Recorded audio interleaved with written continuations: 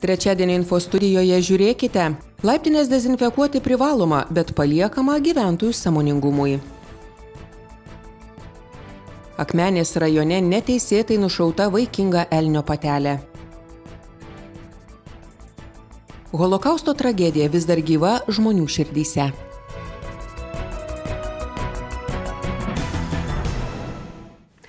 Labas vakaras, trečiadienio naujienos jau parengtos. Pradėkime nuo pačių svarbiausių. Vyriausybė nutarė karantiną Lietuvoje pratesti iki vasario 28 dienos. Taip pat paliekamas galioti judėjimo tarp savivaldybių ribojimas. Teskime žinias. Šiaulių miesto savivaldybė primena, kad besitęsiant pandemijai daugiabučių laiptinės bendrijos ir administratoriai privalo ne tik valyti, bet ir dezinfekuoti ypač tada kai daugiabutyje gyvena trys ir daugiau gyventojų kurie laikosi saviizoliacijos ar jiems nustatytas koronavirusas Pandemija iki šiol tęsiasi, pranešama apie pasaulyje fiksuojamus mutavusio viruso atvejus. Šiaulių miesto savivaldybė primena, kad dar praėjusiu metu spalį pagal administracijos direktoriaus įsakymą miesto daugiabučio laiptinės privaloma ne tik valyti, bet ir dezinfekuoti. Ypač tais atvejais, kai daugiabutyje gyvena trys ir daugiau asmenys, kurie turi laikytis savizolacijos arba jiems nustatytas koronavirusas. Laiptinė turi būti valoma e, ne mažiau kaip du kartus E, drėgnų būdų, šluoti negalima, laiptinė vėdinama kasdieną po 2-3 kartus, ne mažiau e, valandą sudarant skersvėjį. Ir kasdieną drėgnų būdų turi būti valomi e, dažniausiai liečiami paviršiai, tai laiko turėklai, paštų dėžutės, lifto mygtukai, telefonų spinos ir panašiai savivaldybė pernai dar tikrino kaip laikomasi šių reikalavimų. Sako prasčiau besitvarkančius įspėjo geriau besitvarkantiems skyrė lipdukus dabar tikrinti laiptinių negali žmogiškieji resursai nukreipti kitur.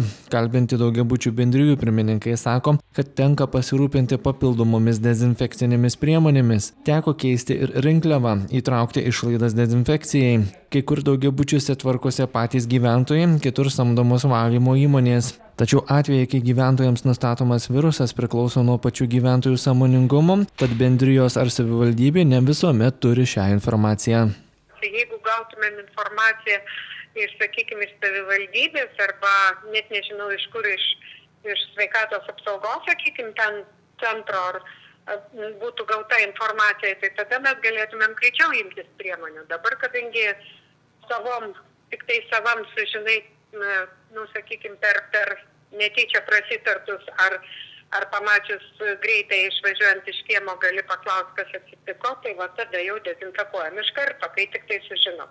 Gyventojai, kurie pastebi, kad jų daugiabučiuose laiptinės nėra valomos ar dezinfekuojamos tinkamai, turėtų kreiptis į jų daugiabutį administruojančią bendrovę ar bendryją arba kreiptis į savivaldybę praėjusią savaitę rekordiškai išaugo pažeidimų susijusių su aplinkosauga. Vienas jų itin žiaurus kai medžiotojas akmenės rajone neteisėtai sumedžiojo vaikingą elnio patelę. Aplinkos apsaugos departamento pranešimų prieimimo tarnyba praėjusią savaitę gavo rekordišką skaičių pranešimų apie galimus pažeidimus visoje Lietuvoje. Neišimtis ir šiūlių apskritis, čia taip pat gauta nemažai pranešimų, iš jų vienas nustatytas itin žiaurus mūsų regione, tai vat, vienas toks skaudžiausias buvo nustatytas Akmenės rajone, kai pareigūnai e, sulaikė medžiotoją Akmenės rajono Ventos medžiotojų burelio, e, neteisėtai sumedžiojusi taurio elnio patelę ir jauniklį. E, ir iš jų sumedžioti gyvūnai buvo draudžiamų metų, kada jie jau yra nebemedžiojami. Atlikus skrodimą, veterinarijos gydytojas nustatė, kad patelė yra vaikinga tai na, susidarė, buvo paskaičiuota žala, kuri sudaro per 11 tūkstančių eurų. O dėl, dėl kitų sankcijų, baudos dydžio, teisės medžioti atėmimo, ginklo konfiskavimo, čia spręs teismas. Apie į autoįvykius pakliuvusius laukinius gyvūnus praėjusią savaitę kreiptasi net 176 kartus. Vien Šiaulių valdyba sulaukė 29 pranešimų. Pasak Raimondo Šiukšterio, skaičiai galimai išaugo dėl oro sąlygų. Susidūrimų su gyvūnais visais metų laikais e, būna. Ir, na, o šiuo metu, aišku, gal įtakos turėjo ir sniegas. E, žvėris pradėjo traukti į kitas buveinės, kur yra pašarinė bazė didesnė ir aišku jie kerta kelius o kirsdami kelius reiškia susiduria su transportu. Dar aplinkos apsaugos departamento šiaulių valdyba praėjusią savaitę sulaukė devynių pranešimų dėl įvykių su laukiniais gyvūnais. Trijų dėl atliekų deginimo bei po vieną dėl atliekų netvarkymo oro taršos nuotekų neteisėtų kirtimų avarijų ir kitų pažeidimų iki šiol su greitosios pagalbos dispečerinėmis buvo galima susisiekti tiesiogiai trumpaisiais numeriais bet pagal naują tvarką liks tik bendras pagalbos numeris vienas vienas du. Jau dabar skambučiai šiaulių regione kitais trumpaisiais numeriais peradresuojami klaipėdos dispečerinei po metų numeriai bus visiškai išjungti nuo sausio dvidešimt šeštosios skambučiai trumpaisiais telefono ryšio numeriais nulis trys šimtas trys ir nulis trys trys iš akmenės rajono joniškio rajono kelmės pakruojo rajono radviliškio rajono šiaulių miesto ir šiaulių rajono savivaldybių nukreipiami į bendrojo pagalbos centro klaipėdos skyrių. Iki šiol šiais numeriais buvo galima susisiekti tiesiogiai su šiaulių greitosios pagalbos stoties dispečerine. Šios stoties vadovė eugenija kukaitienė sako kad permainoms nepritaria bet sako kad pertvarką inicijavusi vidaus reikalų ministerija laikosi pozicijos kad liktų tik vienas bendras pagalbos numeris šimtas dvylika todėl tenka susitaikyti. Nieko mūsų įrodymai nepadėjo.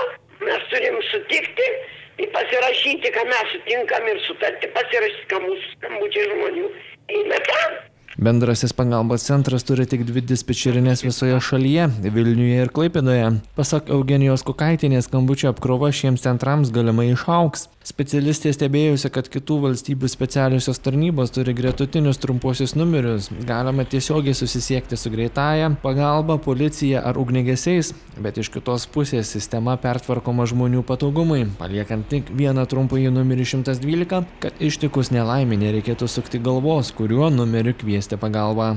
Kaip skelbiama vadovaujantis lietuvos respublikos vyriausybės nutarimu dėl skubiosios pagalbos tarnybų trumpųjų telefono ryšio numerių nuo dvidešimt pirmų metų spalio pirmos dienos visiems pagalbos prašymams lietuvoje liks tik vienas skubiosios pagalbos telefono ryšio numeris šimtas dvylika paskambinus senaisiais numeriais automatiniu balso įrašu bus informuojama kad pagalbos poreikio atveju reikia skambinti skubiosios pagalbos tarnybų telefono numeriu šimtas dvylika. Nuo dvidešimt antrųjų metų balandžio minėti numeriai bus nebenaudojami ir išjungti lietuvos statistikos departamentas atlieka gyventojų tautybės gimtosios kalbos ir išpažįstamo tikėjimo statistinį tyrimą. Jo metu nuolatinių šalies gyventojų klausiama kokia jų tautybė gimtoji kalba kokių dar kalbų moka kokį tikėjimą išpažįsta. Pasiteiravome ir šiauliečių ar jiems aktualūs mūsų šalies etnokultūriniai rodikliai ar teko kada susimąstyti kokia lietuvos gyventojų tautinė sudėtis kokia kalba jie kalba? Ar žinojote kad prieš dešimt metų lietuvoje gyveno šimto penkiasdešimt keturių tautybių žmonės o gyventojai priklausė net penkiasdešimt devynioms skirtingoms religinėms bendruomenėms? Lietuvos statistikos departamentas atlieka gyventojų tautybės gimtosios kalbos ir išpažįstamo tikėjimo statistinį tyrimą padėsiantį atskleisti būtent šiuos etnokultūrinius rodiklius. Kadangi surinkti duomenis apie tuos etnokultūrinius rodiklius iš administracinių šaltinių yra nėra galimybės nes nėra nei vieno registro kuris na turėtų informaciją apie gyventojų išpažįstamą tikėjimą ar sakykim turėtų informaciją kad apie kokias kokios kalbos yra mokamos gyventojų kokia gimtoji kalba. Tai e, atsižvelgiant į dar plius papildomai į e, gyventojų prašymus poreikį kad tokia informacija yra reikalinga. E, taip pat šita informacija buvo renkama du tūkstančiai vienuolik pirmų du tūkstančiai vienuoliktų metų surašymo metu tai kad išlaikyti tęstinumą rodiklių palyginamumą su ankstesniais surašymais nusprendėm atlikti atskirą statistinį tyrimą pasiteiravome ir šiauliečių ar jiems svarbūs įdomūs etnokultūriniai rodikliai. Kiek kalbų moka patys ir ar pastebėjo pasikeitusią etnografinę padėtį ne tik mūsų mieste bet ir visoje lietuvoje. O jums pačiai svarbu žinoti vat kiek lietuvoje gyvena kitataučių kiek žmonės kalbų moka? Kokia religija galų gale? Nežinau. Gal įdomūs tokie faktai bet sakykit ar jums svarbu žinot kiek lietuvoj gyvena va tokių kitataučių kitų tautybių žmonių a nežinau niekad ne nedo nedomino toks klausimas tai neįdomu žinot nu kažkaip nežinau kam man ta tokios informacijos neįdomu žinot ne kodėl nu kuo mažiau, tai geriau, nu ką nu čia. O kiek pats, sakykit, kalbų mokat? Lietuviškai, žemaitiškai, rusiškai ir vokiškai. Keturis. Tai daug visai. O tautybė lietuvis? Tai na, žinoma, tikras lietuvis, nes aš tikras lietuvis yra tas, kuris gimęs tremty, Sibirė. Tai. Ačiū. Netgi stipriau, sakykit, tai matėt, kad, nu, pastebėjot, kad labai daug kitataučių dabar Lietuvoje. Taip, pastebėjau, ukrainiečių valkijasi, dar čia gal tokių, nu, sakykime, rusakalbių. Esu matęs ir tų, kurie kalba ir, ir, ir angliškai nesuprantama kalba. Pasirodo, šiemet etnokultūriniai klausimai nelabai įdomus ir kitiems lietuvaičiams. Kol kas žmonės tyrime dalyvauja labai vangiai. Labai tikiuosi didesnio aktyvumo, nes dabar ir COVID ir žiema vat, už langų, bet aktyvumas nėra labai didelis. Šiai dienai e, yra pateikę apie 17 tūkstančių gyventojų atsakymus į anketą. Lietuvos statistikos departamentas primena, anketų užpildyti galima iki vasario 17 dienos. Nuo jau balandžio birželio mėnesiais vyks ir antrasis šio tyrimo etapas. Žalių gilės ženklų simbolizuojančių sporto objektus pritaikytus negalę turintiems žmonėms jau pažymėta Šiaulių lengvosios atletikos ir sveikatingumo centras. Tai vienas labiausiai pritaikytų sporto kompleksų visoje Lietuvoje. Lietuvos paralimpinės komandos simboliu gilė jau pažymėta Šiaulių lengvosios atletikos ir sveikatingumo centras. Paralimpiečių kokybės ženklas patvirtina, kad gilė pažymėti sporto objektai pritaikyti negali turintiems žmonėms, kurie čia gali realizuoti save, siekti sportinio meistriškumo ar tiesiog sveikatintis. Mes džiaugiamės ir kad tas ženklas pasiekė ir mumis, kadangi turim turbūt vieną iš moderniausių manėžų Lietuvoje ir jis šimtų procentų yra pritaikytas neįgaliesim nuo, nuo pat patekimo į stadioną į lengvosios atletikos manėžą, bet ir yra įrengti ir vyrų, ir moterų persimų kambariai neįgaliesiems atskirai ir dušo kabinos, viskas yra pritaikyta šimtų procentų.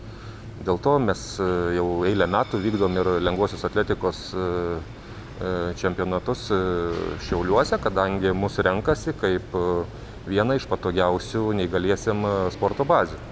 Deimantas Jusys vienas ryškiausių Lietuvos trenerių, kuris dirba su negalę turinčiais asmenimis. Jis savo auklėtinių gretose turi ne vieną Lietuvos paralimpinės rinktinės narį ir čempioną, tad rezultatai kalba patys už save, sąlygos treniruoti šiuliuose iš ties geros. Turime rinktinės narių daug ir turime ir pats dirbu jau balandžio mėnesį bus 10 metų su neįgaliaisiais, tai per tuos 10 metų tai e, mes užauginom ir va, turim ir, šešio, ir 12 metų parolimpinių žaidinių dalyvį, ir 16 metų ir du dalyvius ir tikimės, kad bent jau vieną iš Šiaulių turėsime šių metų parolimpinėse žaidynėse.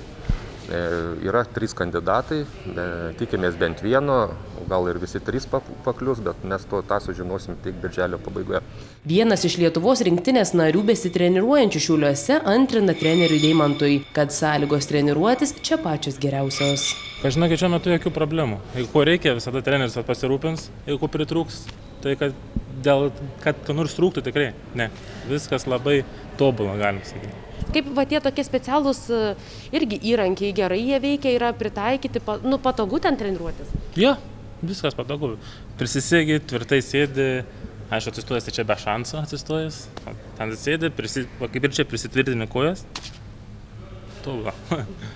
Tobulą. Šiaulių lengvosios atletikos ir sveikatingumo centro darbuotojai nuolat rašo įvairiausius projektus ir taip stengiasi papildyti savo sporto inventorių. Pavyzdžiui, visai neseniai laimėjus projektą pavyko įsigyti šiuos specialius triračius. Sausio 27-ąją visame pasaulyje minima tarptautinė holokausto aukų atminimo diena. Nors šiemet šią istoriškai svarbę dieną didesni minėjimai negalimi, visgi holokausto siaubą išgyvenę bei jo metu žuvę žmonės neliko užmiršti. Ne tik Šiauliuose, bet ir visoje apskrityje aukos paminėtos kiek kitokiu būdu, o akimirkos jam žintos fotografijose.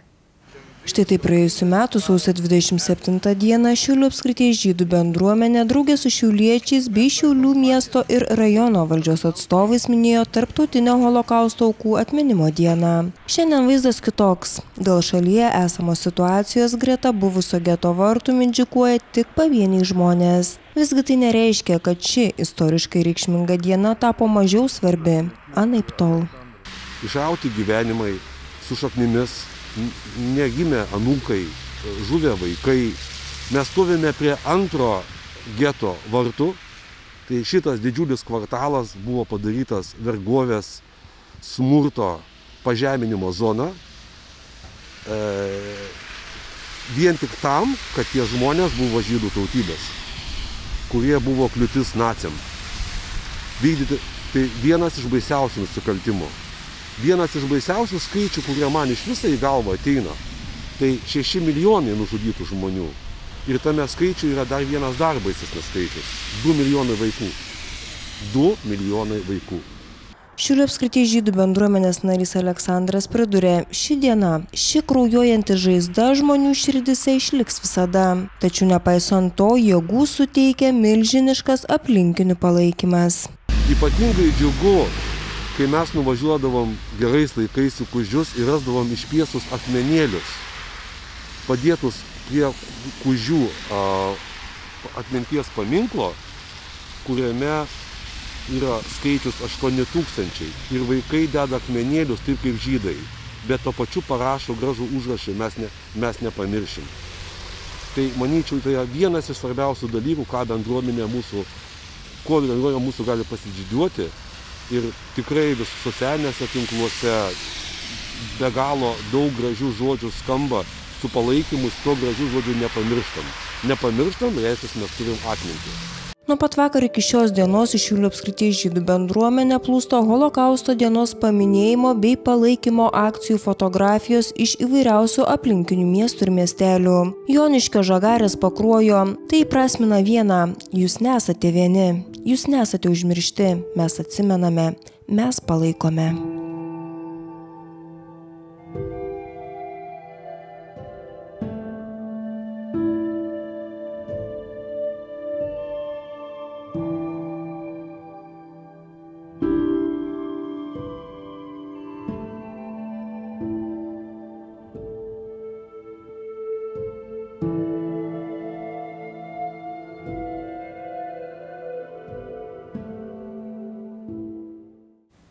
Netrukus kriminalai, sportas ir orai. Būkime sveiki ir nesirkime. Pasimatykime rytoj. Informuoja Šiaulių apskirties policija, Radviliškėje sausio 22-osios naktį huliganišką šou surengė du neblaivus jauni vyrai, sulaukė įvairių įtarimų. Jiems surašyti protokolai dėl neteisėto policijos pareigūnų reikalavimų, karantino metu sukelto pavojų žmonių gyvybė ir sveikatai, taip pat užgirto pasirodymą viešoje vietoje viešosios tvarkos pažeidimų. Išgėrė vaikinai naktį siautėjo mieste, apdaužė automobilius, neva ieškodami draugo, baladojosi daugiabučių namų duris. Pasak policijos atstovės Gailos Magriūninės, vyrai siekia atlikti atlyginti padarytą žalą ir iki teisminio tyrimo procesą baigti susitaikymu. Tarp gražiausių BCF LKL savaitės momentų ir du Šiaulių krepšinio klubo žaidėjų epizodai. Jie užėmė trečią ir antrą vietas. Mindaugas Lukauskis trečioje vietoje atsidūrė praradęs kamolį, bet sugebėjęs reabilituotis puikiu bloku Mindaugui Girdžiūnui. Tuo tarpu Justas Furmanavičius pasižymėjo aštriu reidu į baudos aikštelę, kurioje ryto krepšinį sudrebino galingų dėjimų. Vis tik lygių savo praėjusią savaitę neturėjo eilinį kartą skrydį virš krepšinio atlikęs prienų Sibet žaidėjas Tomas Digbau.